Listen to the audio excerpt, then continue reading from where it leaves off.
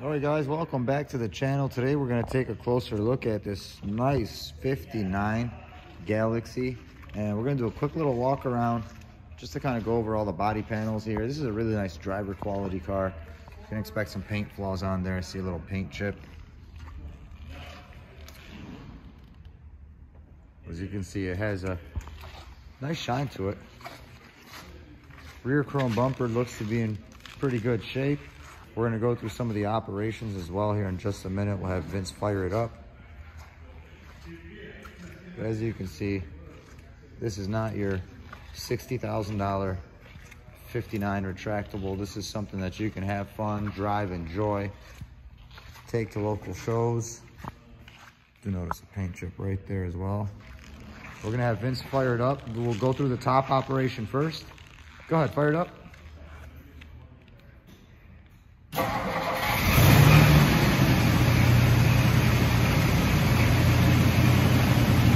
I think you have to be in neutral for the top operation, so we're gonna go ahead and show you how the top operates on this sweet ride.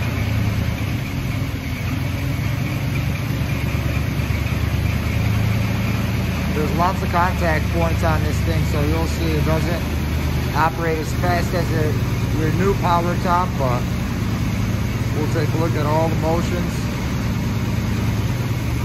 See that huge deck lid come up.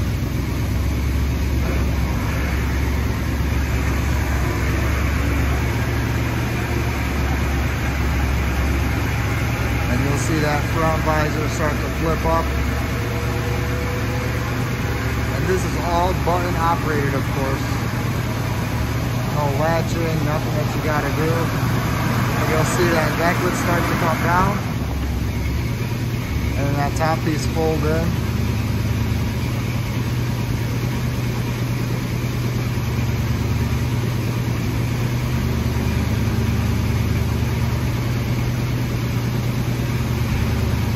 Super cool operation.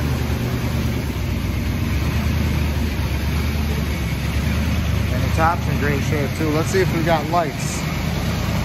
Yep, we've got headlights. We got blinkers, we have driver and passenger.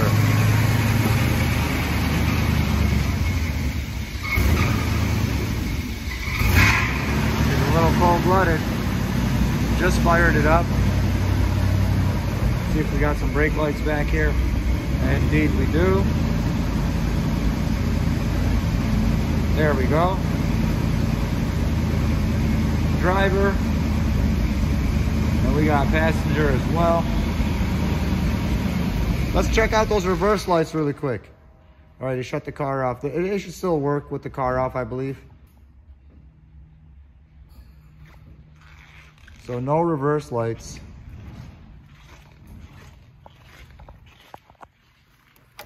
Just a quick peek at the interior here. Really nice original style upholstery kit.